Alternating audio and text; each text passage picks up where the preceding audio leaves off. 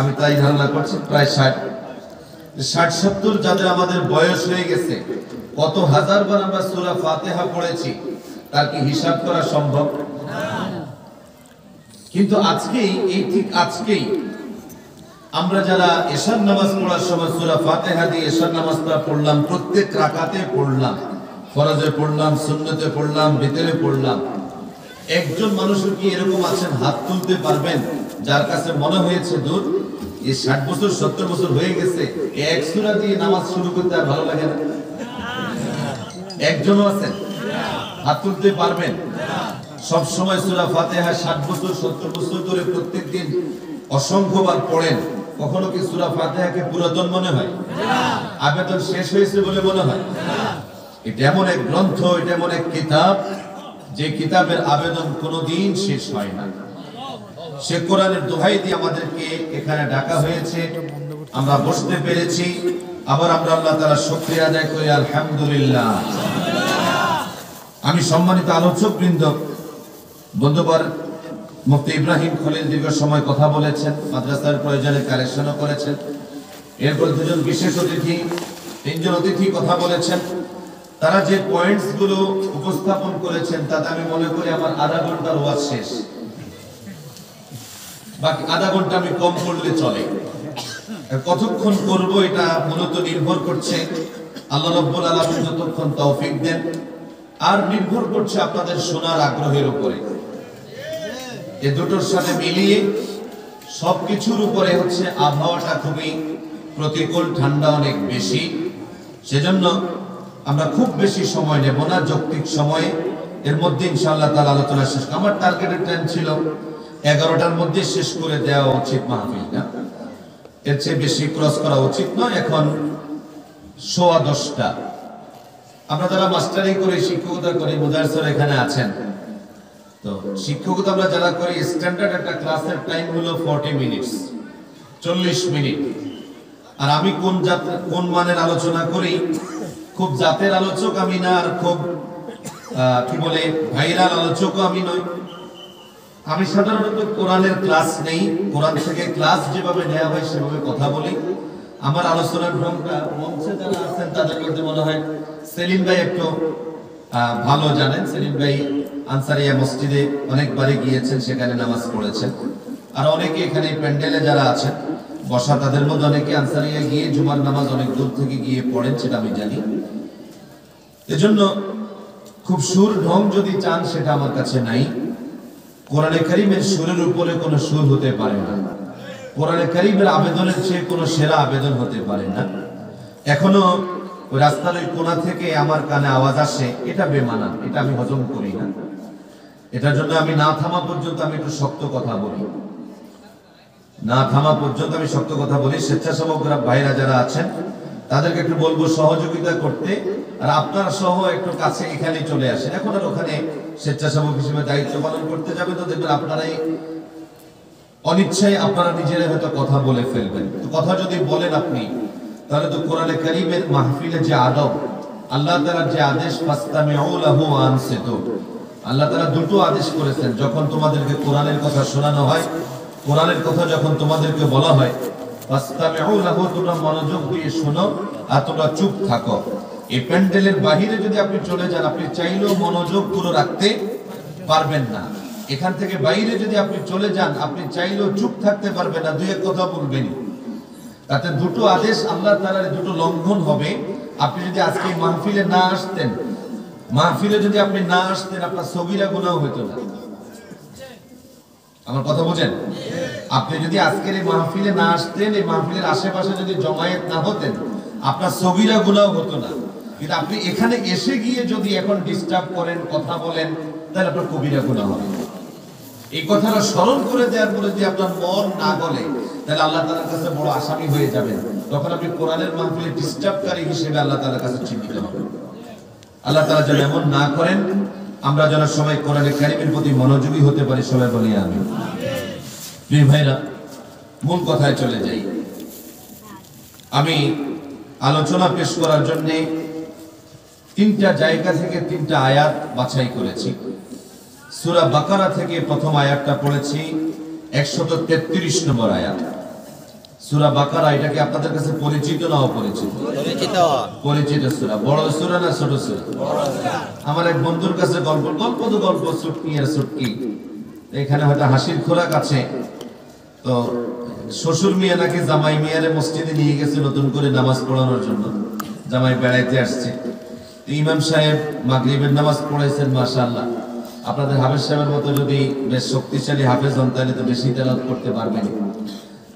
উনি একটু লম্বা তেলাওয়াত করছেন, জামাই মিয়ার খুব কষ্ট হয়ে গেছে। আবার এসব নামাজের জামাতে আসছেন আসা লাগে এবার একটু আগে ভাগে এসে ইমাম সাহেবের পাশাপাশি বসে ইমাম সাহেবের কানে কানে জিজ্ঞেস করে, হুজুর, এই মাগরিবের নামাজে একটা সূরা পড়ছিলেন, এটার নাম কি? সূরা বাকারা। হুজুর এশার নামাজে যে সূরা পড়বেন, এটার নাম কি? সূরা ফিল। তো বাকার অর্থ কি হুজুর? বাকার অর্থ গরু। ফিল অর্থ হাতি। ফিল অর্থ কি? হাতি, সূরা আল ফিল যেটা। জামা মিয়া তো করে যে বাপ। রে বাপ বাকারা সূরা যদি এত বড় হয় হাতি সূরা কত? কোরআনে কারীমের সবচেয়ে বড় সূরার কি নাম? বাকারা। এখানে আয়াত 286 আমি পড়েছি যে আয়াতটা, এটা কত নম্বর বলেছি? 133 সবাই বলেন 100 এটা হচ্ছে আমার ওয়াজের পোস্ট অফিস ডাকঘর পোস্ট অফিস যদি মনে থাকে, চিঠির খামে যদি পোস্ট অফিসে ঠিক মতো লেখেন, পোস্ট কোডটা যদি লেখা থাকে আর কিছু না থাকলে দেখবেন যে চিঠি মুছে গেছে। এই আয়াত নাম্বার, সুরে নাম্বারে যদি মনে রাখতে পারেন জেহানে রাখতে পারেন, তাহলে আশা করি আলোচনার কিছু মৌলিক কথা আপনাদের মনে থাকবে ইনশাআল্লাহ। সম্মানিত উপস্থিতি দারুণ একটা ঘটনা এখানে ঘটেছে আল্লাহ রাব্বুল আলামিন এর জন্য আমাদের উদ্দেশ্যে ঘটনাটা পেশ করছেন খুবই চটকদার স্টাইল আল্লাহ রাব্বুল আলামিন কি বলছেন সোজা আয়াতে চলে যাচ্ছে আমি আর কোনো ভূমিকা যাচ্ছি না আল্লাহ তাআলা ইরশাদ করছেন أعوذ بالله من الشيطان الرجيم أم كنتم شهداء إذ حضر يعقوب الموت إذ قال لبنيه إذ قال لبنيه ما تعبدون من بعدي؟ قالوا نعبد إلهك وإله آبائك إبراهيم. وإله آبائك إبراهيم وإسماعيل وإسحاق إلها واحدا ونحن له مسلمون আমার ভাইয়েরা আল্লাহ রাব্বুল আলামিন আমাদের দৃষ্টি আকর্ষণ করছেন আমাদের মনোযোগ আকর্ষণ করছেন প্রশ্নাকারে একটা ঘটনা তুলে ধরছেন আম শুহাদা। ও দুনিয়ার মানুষ, তোমরা কি তখন সেখানে হাজির ছিলে নাকি? যে সময়ের ঘটনাটা বলা হচ্ছে, আল্লাহ তাআলা নিশ্চিত জানেন যে আমরা তখন সেখানে হাজির ছিলাম না। কথা বন্ধ নইলে আমি কথা বলতে পারি না। এই যে কাছে দ্বারা এখনও কিছু শব্দ হয়, এটা তো থামাতে হবে। একজন দায়িত্বশীল ব্যক্তি সহযোগিতা করে। জি। একটু দরদের সাথে ওদেরকে এখানে পাঠাই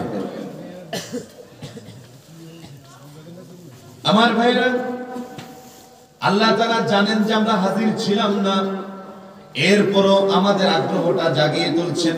অনেক সময় ঘটনা এরকম ঘটে। ওই জায়গাতে যে ঘটনা ঘটছে, তুমি ছিলে না। তুমি যে ছিলে না, সেখানে কি যে ঘটছিল? আগ্রহটা জাগিয়ে তুলে তারপরে ঘটনার বর্ণনা শুরু আল্লাহ প্রশ্ন করছেন তোমরা কি হাজির ছিলা? তোমরা কি উপস্থিত ছিলা সে সময়? হাদারা আমার নবী ইয়াকুবের কাছে যখন মৃত্যু এসে হাজির হয়েছে ইয়াকুবকে? ইয়াকুব ইউসুফ আলাইহিস সালামের নাম তো আমরা সবাই জানি। ইয়াকুবের নাম যদি সবার জেহনে নাও থাকে নবী ইউসুফ আলাইহিস সালামের নাম সবার মনে আছে না নাকি ইউসুফ আলাইহিস সালামের বাবা ইয়াকুব আলাইহিস সালাম। ইয়াকুব আলাইহিস সালামের বাবা ইসহাক আলাইহিস সালাম। ইসহাক আলাইহিস সালামের বাবা ইব্রাহিম আলাইহিস সালাম। এই পুরোটা নবীর বংশ। ইসহাক আলাইহিস সালামেরই এক নাম হচ্ছে ইসরাইল ইসাক আলাইহিস সালামের নাম কি?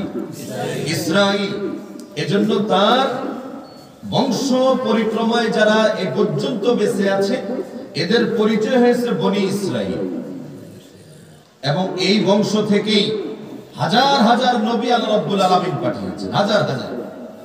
একজন দুজন ইব্রাহিম আলাইহিস ইসলামের দুই ছেলে ইসমাইল আর ইসহাক। ইসমাঈল আর ইসহাক।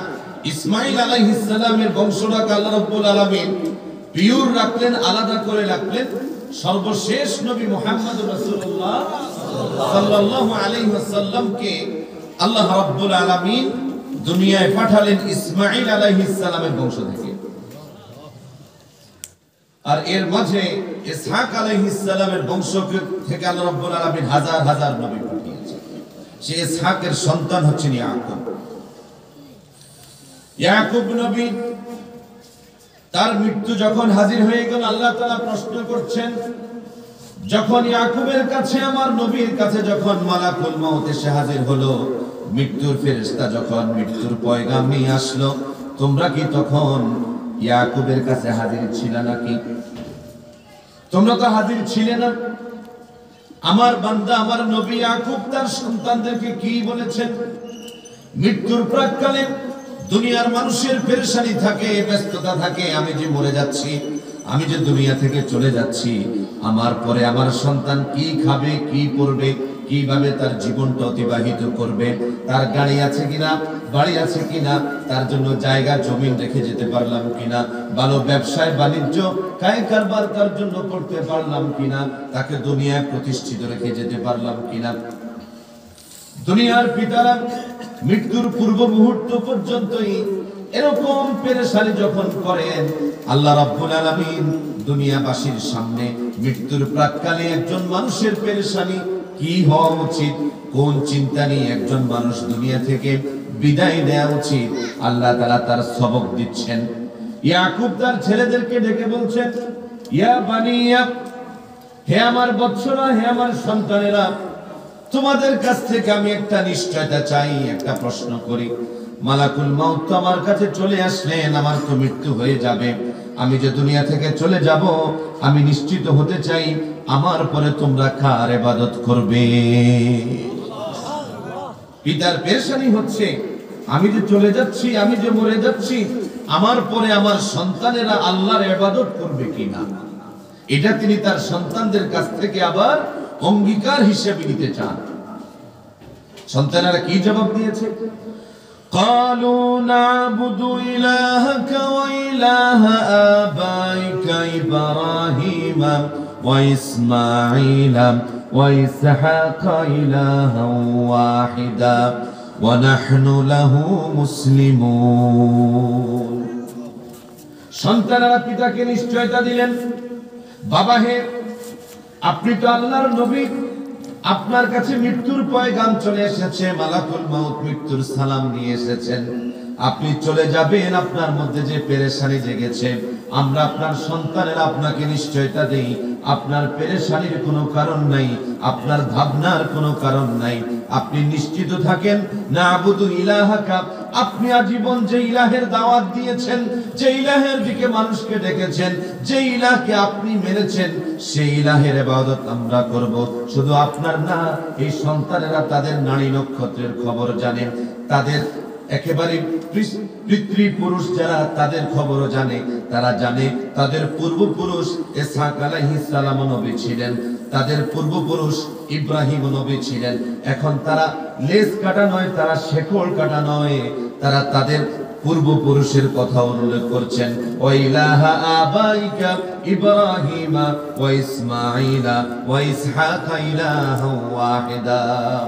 বাবা, আপনি নিশ্চিত থাকেন?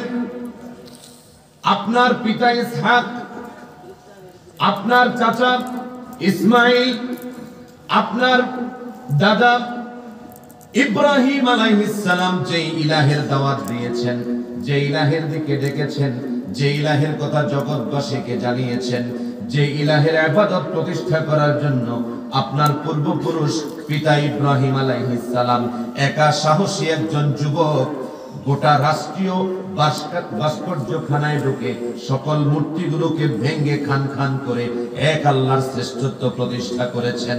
আমরা সেই আল্লাহকেই এক ইলা হিসেবে মেনে তার ইবাদত করব।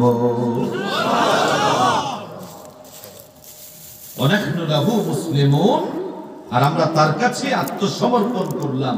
আমরা তার কাছেই মুসলিম হলাম। তার প্রতি আমরা আমাদের ইসলাম পেশ করছি, আমাদের আনুগত্য পেশ করছি।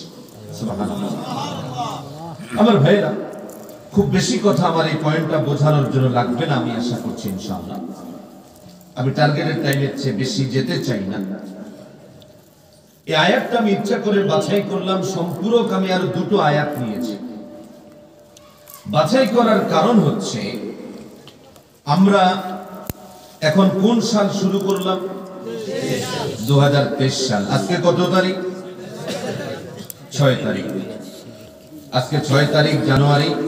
নতুন বছর শুরু হয়েছে, নতুন শিক্ষা বর্ষ শুরু হয়েছে। আমাদের সন্তানেরা স্কুলে, প্রতিষ্ঠানে যাওয়া শুরু করেছে। জাতীয়ভাবে তাদের জন্য বই প্রণয়ন করা হয়েছে, বই পুস্তক পাঠিয়ে বছরের প্রথম দিন বই উৎসব করার ব্যবস্থা করা হয়েছে। শিক্ষার একটা আনুষ্ঠানিক কার্যক্রম শুরু হয়েছে। আমি একটা ভাবনা আপনাদের সাথে শেয়ার করছি দেশের নাগরিক হিসেবে। এখানে দেশের দায়িত্বশীল ব্যক্তিবর্গ উপস্থিত আছেন। যারা দেশ, সমাজ পরিচালনায় সরাসরি অংশগ্রহণ করেন তারা এখানে উপস্থিত আছেন। আপনাদের জন্য যদি ভাবনার খোরাক হয় তাহলে স্বীকার করবেন, না হলে আমাকে আসামি বানাবেন। আমার কাছে যেটা মনে হয়েছে, জাতি হিসেবে আমরা বাংলাদেশের মানুষ নব্বই পার্সেন্ট মুসলমানের বা তার চেয়ে বেশি এদেশের মুসলমানের সংখ্যা। সরকারিভাবে যে জরিপ উপস্থাপন করা হয় গোটা দুনিয়াব্যাপী, এখন মসজিদের যে সংখ্যার বিচার আছে, তাতে প্রায় পঁচিশ লক্ষ মসজিদ আছে সারা দুনিয়ায়। কত লক্ষ? সংখ্যার দিক থেকে মুসলমানরা সর্বোচ্চ নয়, এককভাবে। কিন্তু এবাদত গাহের দিক থেকে মসজিদের সংখ্যা পৃথিবীতে সবচেয়ে বেশি এবাদত গাহের সংখ্যা সবচেয়ে বেশি, গির্জা বা অন্যান্যগুলোর সংখ্যা অনেক কম। বরং গির্জার দেশগুলো, ইউরোপে প্রায় পাঁচটা বছর আমার কাটানোর সুযোগ হয়েছে অস্ট্রিয়া, ফ্রান্সে, মসজিদের ইমাম হিসেবে। কাছে থেকে দেখার সুযোগ হয়েছে। একটা তো সরাসরি আমি নিজেই, ফ্রান্সে যে মসজিদে আমি ইমাম ছিলাম, ওই মসজিদটা ইহুদিদের কাছ থেকে কেনা। এটা ইহুদিদের একটা দুর্গ ছিল। এবং ইউকে লন্ডন সহ অন্যান্য কান্ট্রিগুলোর কথা যারা জানেন ইউরোপের মেইনল্যান্ডের অন্যান্য দেশগুলোর কথা যারা জানেন, তাদের জানা আছে যে ইউরোপ আমেরিকাতে যেই পরিমাণ মসজিদের সংখ্যা বাড়ছে, বেড়ে চলেছে, এ পর্যন্ত বেড়েছে, তার একটা সিংহভাগ মসজিদ হচ্ছে খ্রিস্টানদের কাছ থেকে অথবা ইহুদিদের কাছ থেকে কেনা, অন্য কথায় খ্রিস্টান ইহুদিদের বিক্রি করে দেয়া তাদের এবাদত গাহ। সেগুলোকে মুসলমানরা কিনে মসজিদ বানিয়ে নিয়েছে। এর কারণ কি? এরকম এবাদত গা ফ্রান্সের কথাই বলি। এরকম একটা এবাদত গা পরিচালনা করার জন্য, একটা গির্জা পরিচালনা করার জন্য গভর্নমেন্টকে তাদেরকে উচ্চ হারে ট্যাক্স দিতে হয়। এই ট্যাক্সের টাকা পরিশোধ করার মতো কালেকশন তাদের হয় না। কারণ ইহুদি আর খ্রিস্টানরা এখন মসজিদে খুব কম যায়। অর্থাৎ তাদের যে সেজদার জায়গা, তাদের যে আবাদতের জায়গা, তাদের যেই বিয়া আছে, তাদের যেই পূজা অর্চনার জায়গা আছে, সেখানে তারা যায় না। যায় না বলে তারা চাঁদাও দেয় না। অবশেষে তারা এটা চালাতে পারে না বলে বিক্রি করার দরকার হয়। তো বিক্রি করার যখন দরকার হয়, তারা চায়, এখানে যেহেতু আল্লাহর ইবাদত হয়েছে, যদিও তাদের ইবাদতের মধ্যে ভেজাল আছে। যেহেতু আল্লাহর ইবাদত হয়েছে, এই জায়গায় আর কোনো ক্যাসিনো না হোক, কোনো মদের বার না হোক, অন্য কোনো গুনাহের কাজে এটা ব্যবহার না হোক তাদের চিন্তা এই জন্য যতগুলো গির্জা বিক্রি হয়, এগুলো তারা মুসলমানদের কাছে বিক্রি করতে রাজি হয়ে যায়। আর সেগুলো বিক্রি করে মুসলমানরা তাদের কালচারাল সেন্টার তাদের মসজিদ নির্মাণ করে। এভাবে পঁচিশ লক্ষের অধিক মসজিদ গোটা দুনিয়ায় আছে। বাংলাদেশে সেই হিসাবে দেখানো হয়, আড়াই লক্ষেরও বেশি মসজিদ আছে। যদিও বেসরকারি গণনায় এটা তিন লক্ষেরও বেশি। এরকম একটা মসজিদ সমৃদ্ধ দেশ, এই যে মনে করেন আপনাদের দুইটা বাড়ি, এই বাড়ি নিয়ে একটা সমাজ। এই সমাজকে কেন্দ্র করে এখানে একটা মসজিদ। এভাবে অসংখ্য মসজিদে আজান হয়, ফজরের আজান দিয়ে আমাদের ঘুম ভাঙ্গে। এশার নামাজের আজান দিয়ে আমাদের দিনের কর্মতৎপরতার শেষ হয়, আজকেও শেষ হতে চলল। কিন্তু আমার একটা অবজারভেশন বলছি, জাতীয়ভাবে আমার দেশের মুসলিম সন্তানদের জন্য আমরা যে শিক্ষার আয়োজন করেছি আমরা দরকার সংকোচ নেই। মাহফিল তো অনেক সময় দু তিন লাগে আমরা জানি না। প্রিয় ভাইয়েরা বলছিলাম, জাতি হিসেবে যেখানে নব্বই পার্সেন্টের মতো মুসলমানের বসবাস, তিন লক্ষাধিক মসজিদ থেকে আজান হয়, একামত হয়, নামাজ হয়, জুমার খুতবা হয়, সেই দেশের নাগরিকদের জন্য, সেই দেশের মুসলমানদের জন্য জাতীয়ভাবে শিক্ষার যে আয়োজনটা করা হয়েছে সেই জায়গায় একটা বড় ঘাটতি রয়ে গেছে সেই জায়গায় একটা বড় ঘাটতি আছে। আপনারা যারা আপনাদের সন্তানদেরকে এখন স্কুলে পাঠাবেন, আপনারাও টের পেয়ে যাবেন। আমি তো একটা মাদ্রাসা একটা কামিল মাদ্রাসার অ্যারাবিক লেকচারার। তো সেখানে রুটিন কমিটির দায়িত্ব আছে আমার। রুটিনটা যেদিন করতে বসলাম, সেদিন ক্লাস সিক্স এর নতুন বই পাঠিয়েছে সরকার, শিক্ষা মন্ত্রণালয়ের পক্ষ থেকে। ক্লাস সিক্স এর বইগুলো নিয়ে বসলাম সেভেন এর বইগুলো নিয়ে বসলাম। এর মধ্যে শারীরিক শিক্ষা যে বইটা ছিল, এটা এখন শিরোনাম পরিবর্তন হয়েছে স্বাস্থ্য সুরক্ষা। স্বাস্থ্য সুরক্ষা নামে একটা বই এসেছে। এই বইটা, এটা একটু আমি আগা গোড়া, পুরোটাই উল্টালাম। আপনাদের সাথে আমি মিথ্যা বলি না। এই বইটা উল্টানোর পরে আমি আধা ঘণ্টা, এক ঘণ্টার বেশি সময় রুটিনের কাজে আর মনোযোগী বসাতে পারিনি। মনে একটা বেদনা তৈরি হয়েছে, একটা আফসোস তৈরি হয়েছে। কেন? এই বইয়ের শেষ দিকের একটা শিরোনাম হচ্ছে, এসো বন্ধু হই অথবা চলো বন্ধু হই। এখানে আমার এখন স্মরণে একটু ডিস্টার্ব হচ্ছে। হয়, এসো বন্ধু হই অথবা চলো বন্ধু হই। এই পাঠে আমাদের সন্তানদেরকে, মুসলিমদেরকে কি শেখানো হবে? মুসলিমদেরকে কি শেখানো হবে? এটার একটা বার্তা দেওয়া হয়েছে শুরুতে একটা ছবি দিয়ে। যে যেই ছবিটা এখানে পেশ করা হয়েছে, এরকম অসংখ্য ছবি আছে ওই বইতে। একটা ছবির কথা আমি বলছি, এর চার আপত্তিকর ছবিও আছে। একটা ছবি দেয়া হলো দুইজন ছেলে পাশাপাশি দাঁড়িয়ে, তাদের বাম পাশে আরেকটা মেয়ে দাঁড়িয়ে। ছেলেগুলো শার্ট প্যান্ট পরা মেয়েটা মাথায় কোনো ওড়না নাই স্কার্ফ নাই। মাদ্রাসার জন্য এই বই পাঠানো হয়েছে, মাদ্রাসা বোর্ড কোনো নতুন বই বানানোর সুযোগ পায়নি, অথবা বরাদ্দ পায়নি। স্কার্ট পরা এই মেয়েটা, তার পাশের যে ছেলে বন্ধু আছে, ছেলে বন্ধুর কাঁধের উপরে হাত দিয়ে দাঁড়িয়ে আছে। এই দৃশ্যটা দেখার পরে আমি হিসাব মিলাতে পারলাম না যে আমরা আমাদের সন্তানদেরকে কি শেখানোর আয়োজন করেছি। ছবিতে বার্তা পরিষ্কার, এসো বন্ধু হই নামে।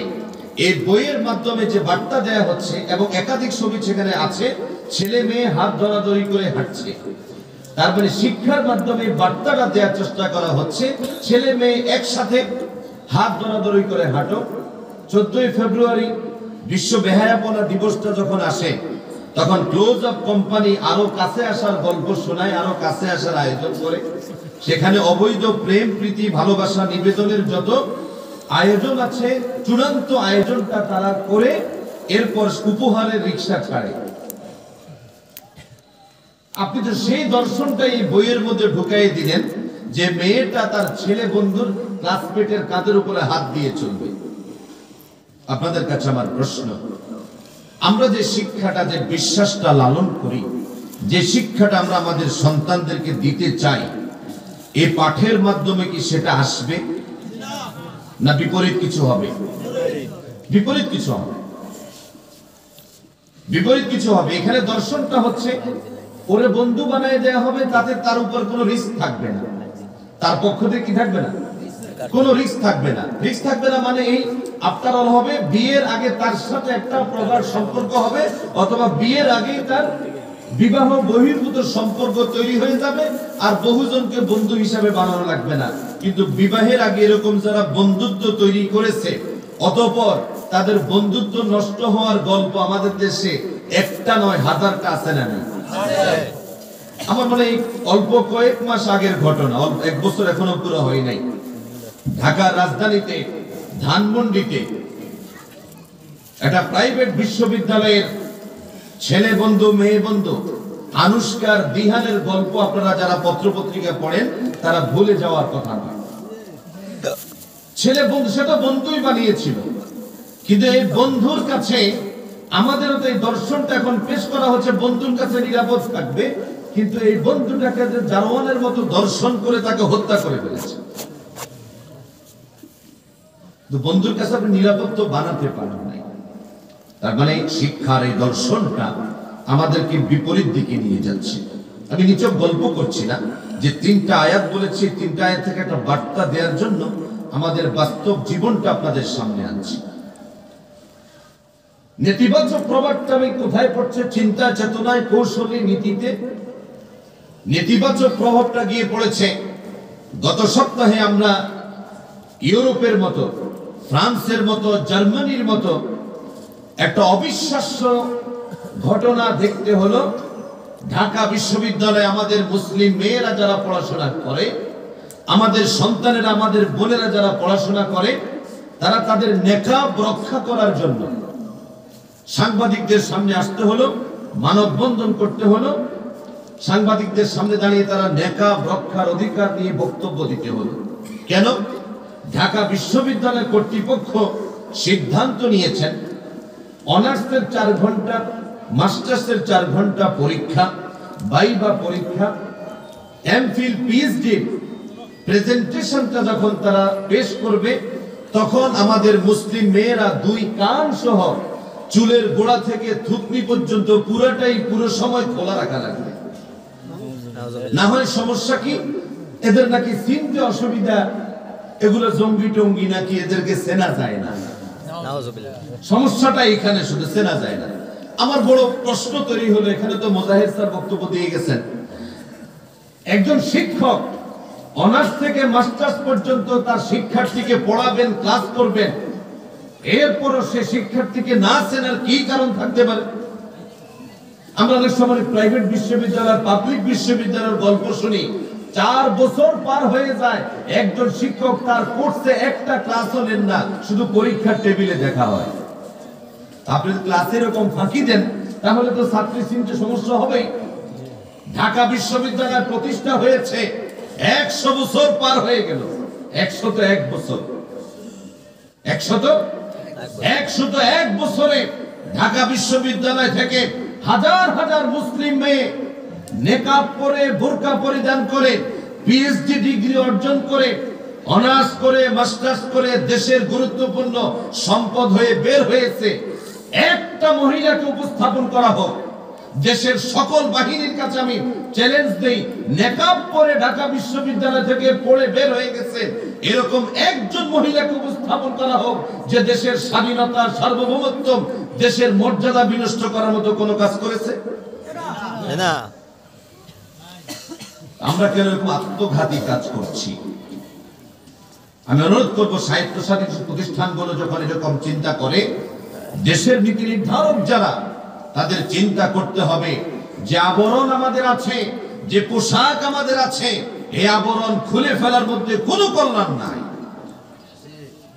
বরং ক্ষতি সমূহ ক্ষতি আমাদের সামনে চলে আসবে। বিদ্যুতের নেগেটিভ পজিটিভ তারকে একসাথ করতে যাইয়েন না। এসব বন্ধু হই নামে যে মেসেজ আপনি দিতে যাচ্ছেন, এটা দিয়ে এই মেসেজ পূর্ণ হবে না, নিরাপদ সমাজ হবে না, আরও বেশি অনিরাপদ হয়ে যাবে সমাজ।